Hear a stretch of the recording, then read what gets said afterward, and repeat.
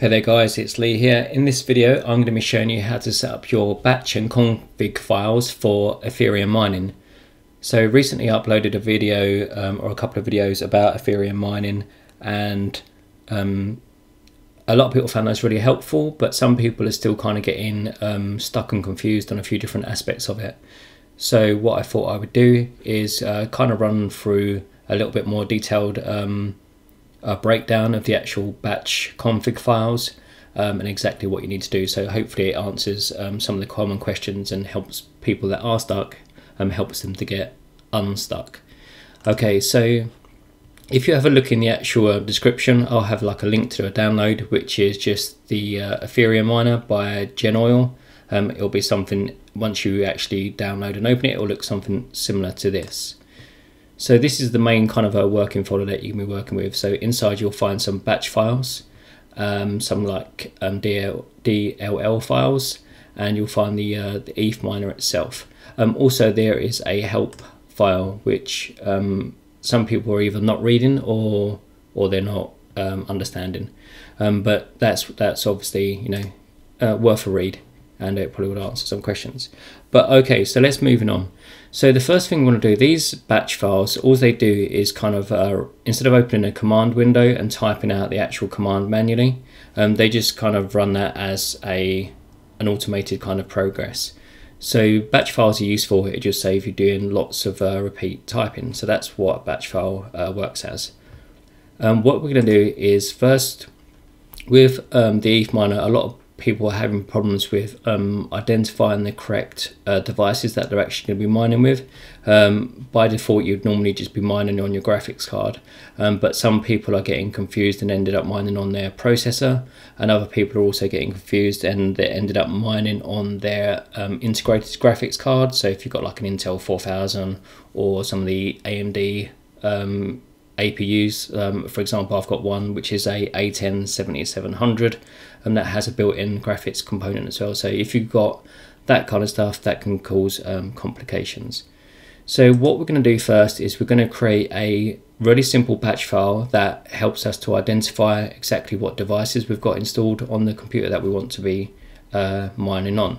So you can see I've got this uh, file up here which is called devices.bat and I'll show you how to make your own in case you don't have that. So from the working folder, if you right click, and then we want to create a new um, text document. Uh, just uh, don't give it a name for the time being and just open it. Might be slightly different depending on what version of uh, Windows that you've got, um, but I'll show you in a moment.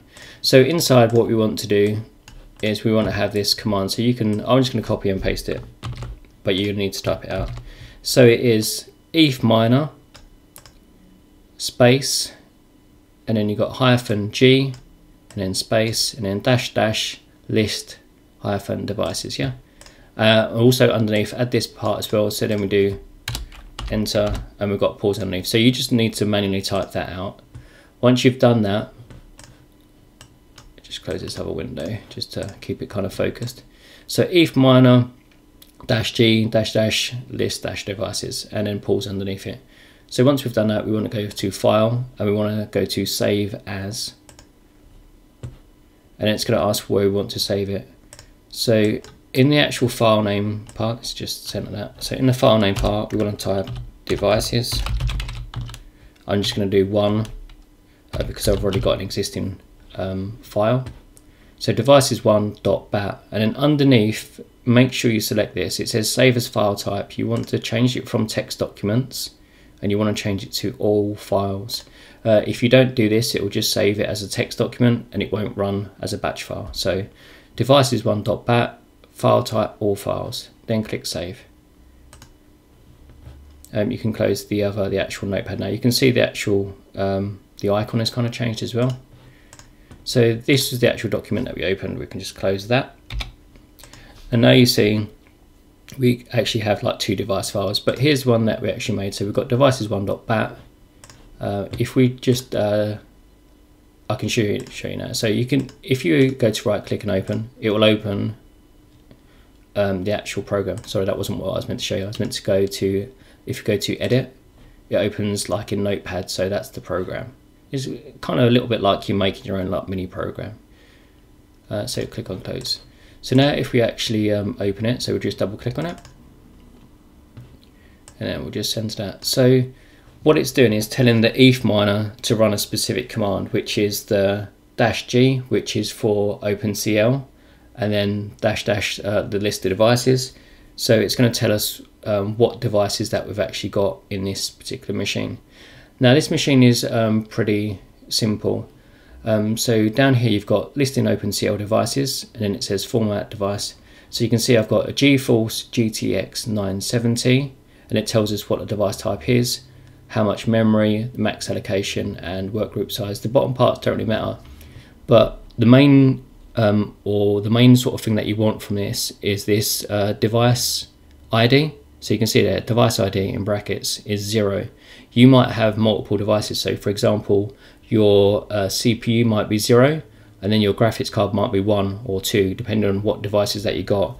But the actual device that you want to be working with, um, just check what the actual number is. So the device ID is zero, that's the one what we want to be using. Um, I think I covered that. Um, yeah, and at the end it's just got pause, so it just it keeps that window open. Otherwise, it will just close um, immediately afterwards. So that's just what the pause command uh, does. So the device is zero. Um, I'll just show you as well. Um, I believe the same process. I've not actually tried it. Um, where am I going? Just need to edit. I think if we do dash U, I think it shows us the CUDA devices as well. I'm not entirely sure, but I'll just try it.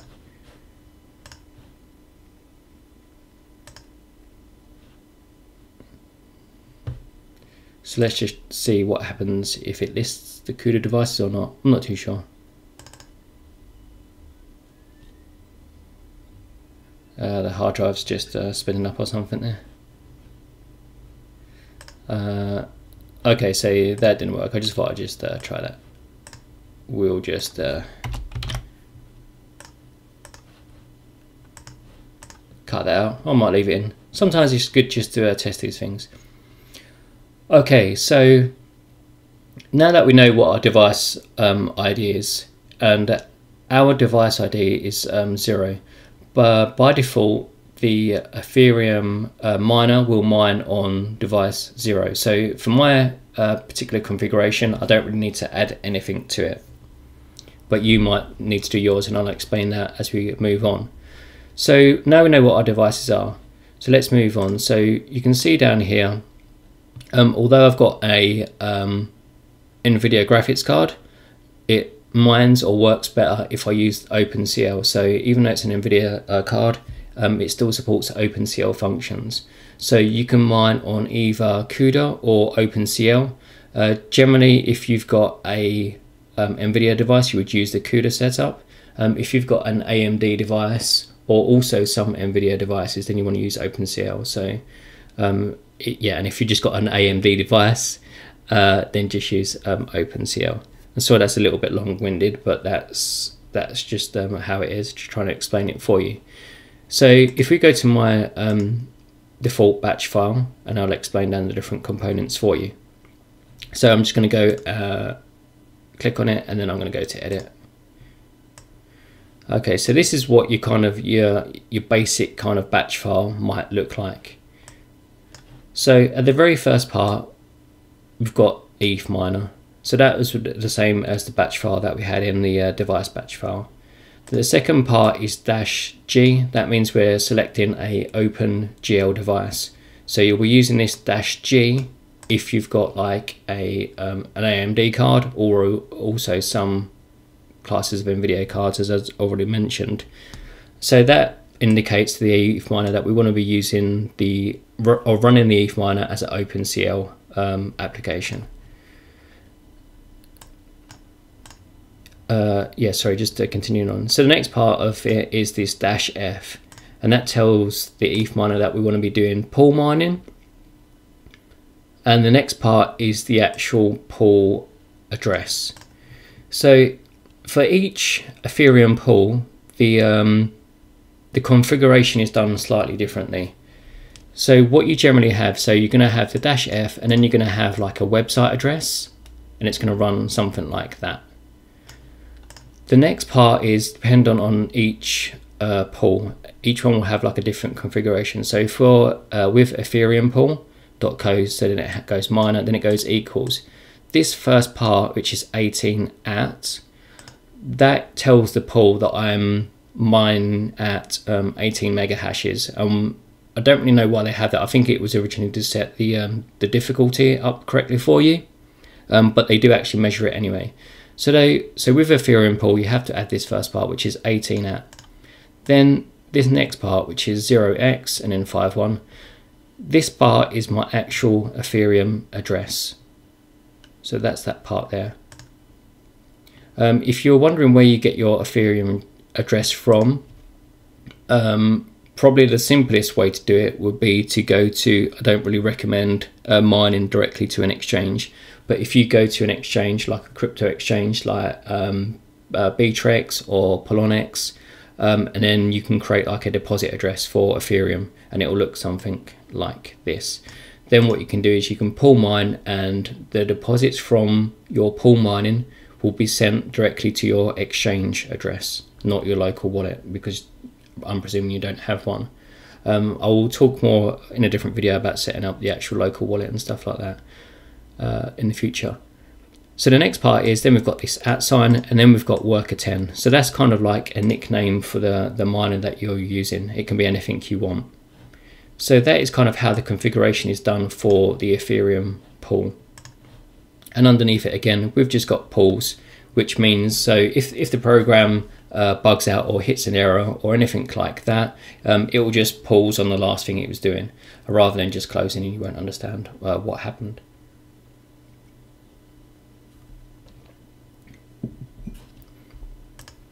Okay, so I'll just show you now how the um, dwarf pool looks in comparison. So we'll just uh, compare sorry, just uh, close that other folder. I need to keep that open. We'll come back to that. So at the top, we've got the Ethereum pool, which is the one that I just showed you. And then underneath it, we've got our configuration for um, dwarf pool. So just uh, show you. So on the bottom, it's the same. So it's ETH miner dash G, which is the OpenCL dash F. We've also got like an extra white space in there that shouldn't really be in there but it doesn't matter. So this, uh, so you can see the dwarf pool is a little bit different. So if we compare the two, but it's almost the same. So the first part is just the actual pool's website address. So it's the uh, the domain name, and this is the pool 80. So then the next part is you'll notice that the end kind of configuration is a little bit different. So it's just the website address forward slash, and then it's just our uh, Ethereum wallet address, which is the same as it was up there. And then slash, and then we've got a uh, worker nickname again.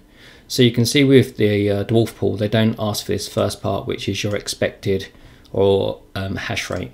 So it's slightly different. So each pool will have its own um, kind of requirements. And if you just go to the actual pool that you want to mine with, whether it's Ethereum pool, dwarf pool, nano pool, or whoever you use, they will tell you the, the, the correct configuration. But generally speaking, it will be something like this. It will look kind of similar. So that's kind of um, how to set up the, con the config or the batch file for each of the pools. Uh, I'll just make sure they're saved, close those. Uh, close those and then we'll go back to the actual uh, folder we was working with. So the the other part of it was um, actually let's go back. So if I show you this um, I'll go back to our original config file. So let's say for example um, your OpenCL device is not zero. Um, so maybe your OpenCL device is a secondary. So you might have like an integrated graphics card as well as a um, a proper or a, a, good graphics card like a you know like a plug-in graphics card. So in that case, your um, so your de your device ID might be one. So by default, ETH miner will choose device zero. So if you've got device zero, then you don't need to add any extras. But if you've got like, device one, for example, um, you need to add in a special uh, little part. So I'll just show you that. So if we go to the actual help file itself, which is just like a README file, uh, and it's got lots of different information in there, but you can see under mining configuration, you've got this, which is dash dash open dash device. So let's just uh, copy that. So I'm just going to copy that. So if you've got like your main GPU is on device one, for example, then you would do eth miner dash g, and then you added this extra part. Then you want to do a space and then do number one. So just make sure there's a space between things. Um, and then you would want to save that. So what it tells is the eth miner you want to use the OpenCL device one rather than default, which is zero. And then you just save that, and then you would run it. So that's how it works when you select. Uh, the same would also apply, you know, if you've if you got multiple graphics cards, and you could do two or or, or whatever number you uh, needed. So that's how you set up the um, the OpenCL devices if it's different for for your uh, you know particular configuration. So I'm just going to save that as it was. Um, using um, CUDA. So if you've got like an NVIDIA card um, you can use the CUDA configuration.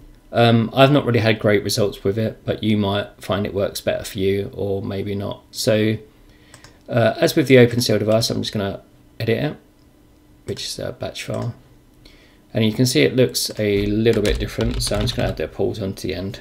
Um, always do that, that's kind of um, really useful. Uh, especially if you're you know if you're trying to click on the actual uh, batch file and the window's just closing immediately that will just uh, stop it so that's kind of useful but it's pretty much the same setup as before. So we've got the eth miner, but in this time we've got a different switch. So we've got dash u. So it tells the eth miner that we want to use the CUDA uh, kind of programming um, for mining. Then we've got Ethereum pool, and then we've got kind of that extra config there. So it in with the uh, CUDA miner, I was only mining at seven mega hashes. So I've just put seven at and then my Ethereum address and then your nickname on the end. So that's how you do CUDA mining. Um, what I'd probably recommend is that if you've got a NVIDIA card, probably just try both. So um, try it with um, CUDA as it is there, or just change it to OpenCL and then save it and try and see what happens. You might find that you get better results with um, the OpenCL version rather than the CUDA version, but um, it's all really to do with testing. So just try uh, different things. So I'm just going to say that and um, close it. So um, I think that kind of covers pretty much everything that you might need to know. I think that certainly covers the most uh, common sort of uh, questions and answers. So yeah, if you have any questions or comments, then just put them in the comments box below and I'll try to um, answer them as best I can if they haven't been answered already. Um, yeah, and hopefully you found this uh, video to be useful. So till the next one, guys, thanks for watching.